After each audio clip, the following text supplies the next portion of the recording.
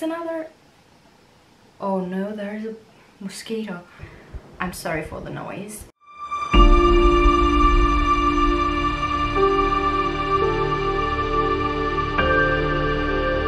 Hey, so today I wanted to film a video that has been overdue but it has reached a moment, a peak of unluckiness that I have to film it. So there's another life update with me and the past life, life update if you haven't seen I will leave the link down below or like you can click the card up here but basically it was not a happy one because my grandma died and well it was a sad moment for my life the only good thing was getting some work to do and that was good. Now the unlucky soul that I am it came back to normal, which is as unlucky as I can get, and I will explain why.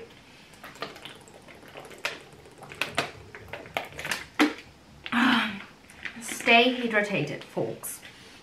Well, reason number one, you might have known that I had plans and if you don't know I will leave that as well down below an explanation of what I had to do next year theoretically which was to go to America, to Montana State University, study there for a year and then come back. I'm spitting all over, that's disgusting. Well, basically that was what I had to do.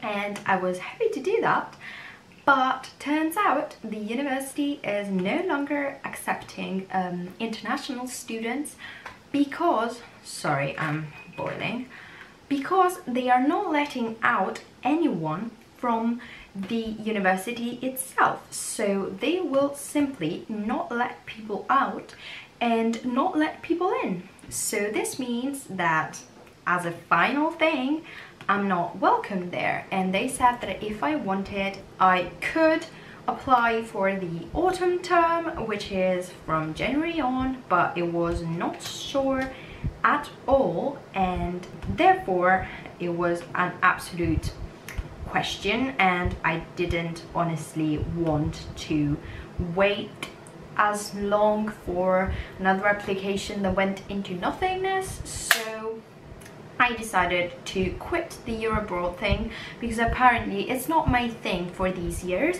because I've been unlucky enough to have my university years during COVID and so the Eurabroad is not a real option.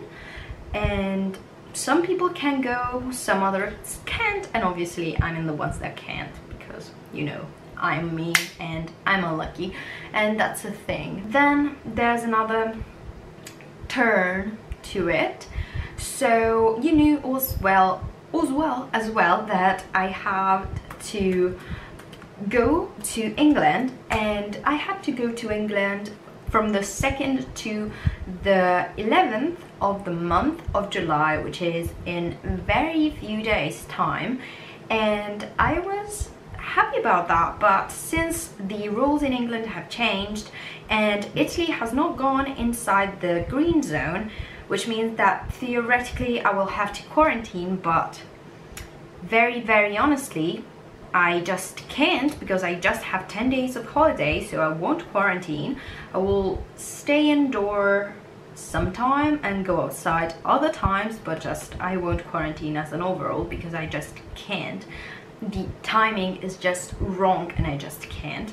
So yeah, come at me but I think you would have done the same if you were in the same position so don't judge and so I have to go to England and thing is that my boyfriend and I were like okay we can change the flight we can book for another flight at the middle of the month and yesterday I arranged everything for the change and turns out that this morning I go into it and it doesn't seem like anything changed so I'm like, oh my god, what happened? I tried to change again, and from a fee of two years, I had to pay 92.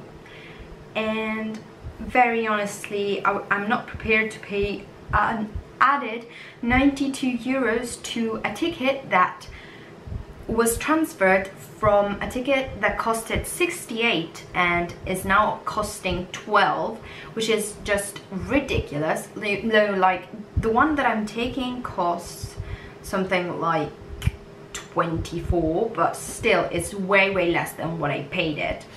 But in any case the ticket not refundable and so they gave us this coupon to use in a year.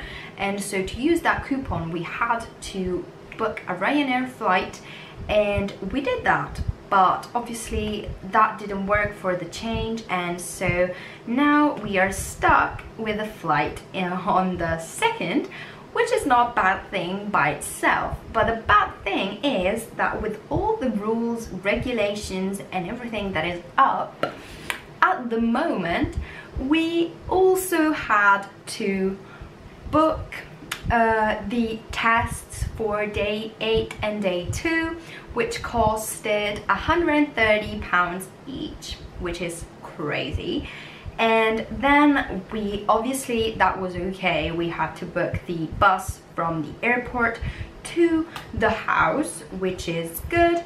But it's just I spent two hours and a half booking all these things. And it, it has driven me crazy because it's like so so much. Oh wait. I'm gonna take this off. Look I I'm pretty today. I tried to make some curls in the night. It's the only good thing about today. But yeah this is a brief description of the majority of things that have been going wrong with me and my life.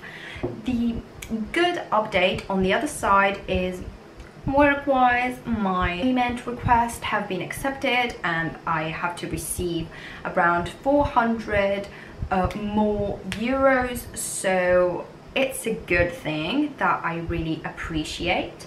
It's not that I didn't gain that but it's good. And also I have been asked from school to participate to a further project because the project that I did in Challenges Online was deemed entrepreneurial and so they want to hear more from me which is good and from my group so this is a good thing a good thing that I can think about another goodish thing that I can think about is that I'm writing a lot of articles for Raz newspaper and I'm publishing a lot there which is good and I will add all of that to my CV. I'm also reading a lot of The Organized Writer which is a book for freelance writers and I'm at page 125 which is good and with that I am pretty okay. It's like there are good things, bad things. I know it shouldn't be complaining as much, but it's like after you spend two and a half pointless hours in the day, it's just, uh, I will try to calm down with a candle. This candle I bought in honor of my grandma.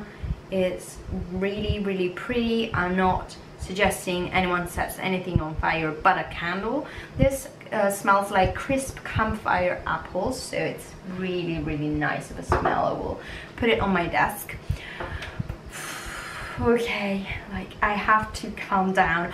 Another thing that went wrong that made me go crazy yesterday was that I went into the editing of the uh, YouTube video that I posted today that you can look at down below as well.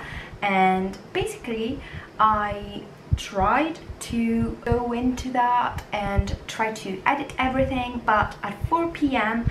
in the afternoon I was going crazy. The application was doing whatever the fuck it wanted to do which I know is a bit rough but it was really that. It was doing whatever it wanted and I was not able to edit it correctly and I was going crazy so I stopped went to the sea swam with my boyfriend it was very very nice. And this morning I came back at it and I worked for it. Another I think two hours and a half as well. It's like the two hour and a half mark is just a waste your time for me. Uh, I'm not drunk for all the time that I had to do those things on the computer but at this point I feel that just okay that things have gone a bit better. I've booked things I've organized others and when once I do this this is over.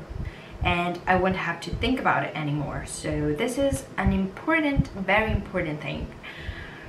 But yeah I wanted to update you on all of my unlucky self and I don't know, are you as unlucky as I am? Like, let me know down below. I want to know how unlucky you are. Because I'm a lot. I'm very unlucky. So if you can beat me at this game, just please tell me how. Because you are a champion. It's very hard to beat me in this. I'm very strong which is not a pride, it's something a bit ridiculous.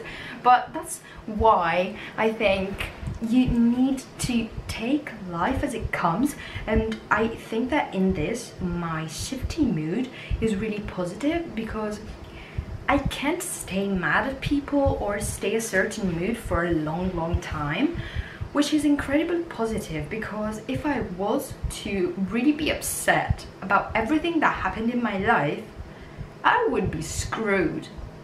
Screwed. I'm, I'm just so unlucky.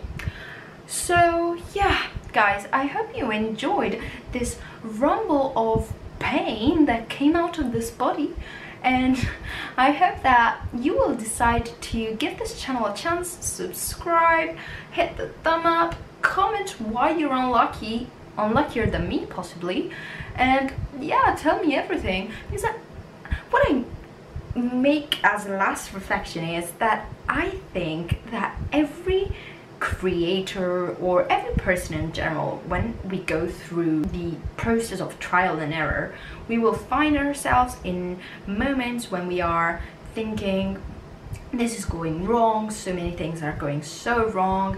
I am doing random things. I cannot succeed at anything. It's like I think that pretty much everyone has this. It's just that it's so absurd to think about how many times life bashes you so much that you really have to have a positive attitude to go against all of that because it's strong and it's hard.